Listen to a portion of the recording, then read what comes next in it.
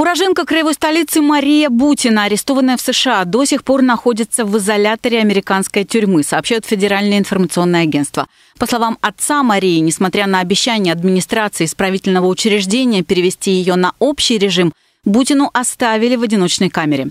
В комментариях газете «Известия» отец девушки предполагает, что в одиночке она останется до следующего судебного заседания, то есть до 12 февраля следующего года.